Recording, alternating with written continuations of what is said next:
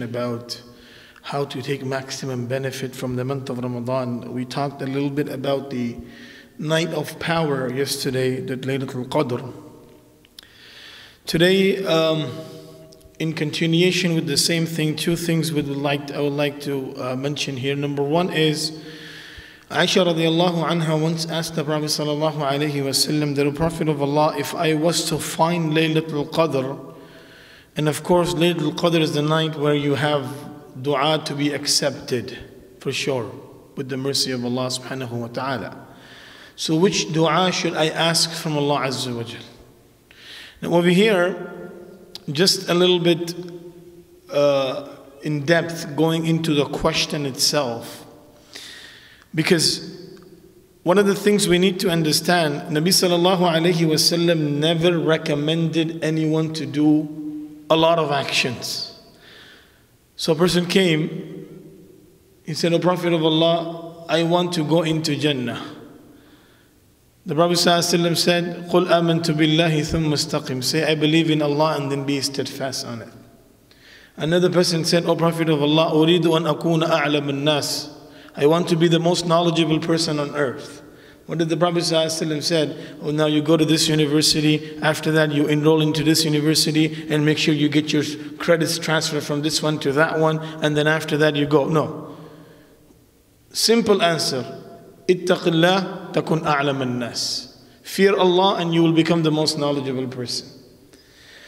So one of the key point is that Nabi sallallahu alayhi wasallam always gave answer which was immediately doable and which can be done by any individual. It's not just confined to a certain category of person or certain caliber of individual. No. It is for everyone because He's rahmatul lil alameen, mercy for the whole humanity. So whenever any companion of the Prophet came and he asked him a question about something, Immediately, the Prophet gave him an answer. It was short, it was meaningful, and it was doable immediately. It didn't require a time, it didn't require to be at a certain place, it didn't require to be in a certain designated area or in designated position. It can be done anywhere, it can be done by anyone, it can be done at all time. So Aisha radiallahu anha came to the Prophet and she said, O Prophet of Allah, if I was to find Laylatul Qadr, what dua should I make to Allah subhanahu wa ta'ala? So the Prophet said, Ya Aisha, quli Allahumma innaka afuun tuhibbul afwa fa'afa anni. That, O Aisha, when you find Laylatul Qadr, make this dua. That, O Allah, you love to pardon, pardon me. You are the one who pardons, and you are the one who is showering His mercy. I, you know, and you love to pardon, so pardon me. To forgive my sins. Now, out of all the things, you know, maybe a lot of things are there for a person to ask.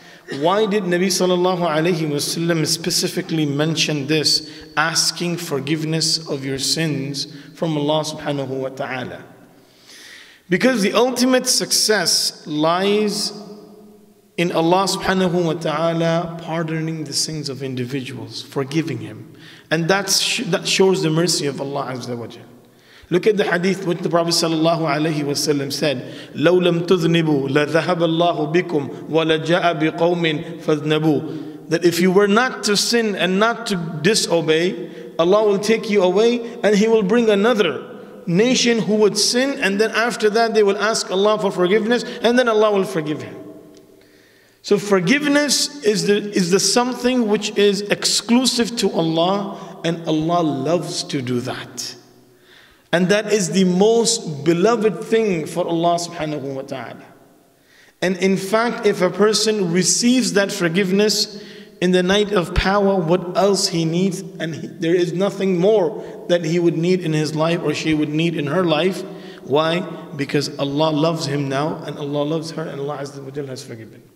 The second portion is, is the i'tikaf spending the night and especially the last 10 days of the month of Ramadan, it was the habitual practice of the Prophet ﷺ that he did. In fact, Ibn Mas'ud said that when after the Ramadan became, after Ramadan, the fasting of the month of Ramadan became obligatory, I did not see Nabi wasallam leave i'tikaf in any of the month of Ramadan throughout until he left from this world.